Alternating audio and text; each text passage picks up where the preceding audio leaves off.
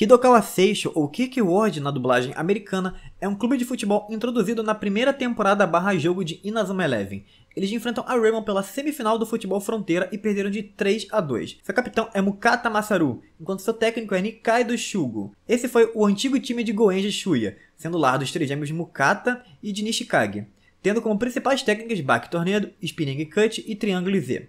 O uniforme desse time é vermelho com detalhes em preto, enquanto o do goleiro é um verde escuro com detalhes em preto. O objetivo dessa série é mostrar toda a trajetória do time e parece que tive que jogar todos os jogos da trilogia de Nazuma Eleven para Nintendo DS. Assim eu posso mostrar toda a evolução dos personagens, mas antes quero pedir humildemente seu like, a sua inscrição e agora bora pro vídeo com todas as técnicas daqui do Seisho. Inazuma Eleven!